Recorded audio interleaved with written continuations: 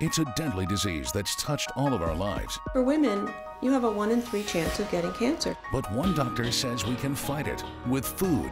Combining into one recipe all those foods, we can get dramatic reductions in cancer. Could his recipe stop cancer cold? Monday on Fox 5 News at 5.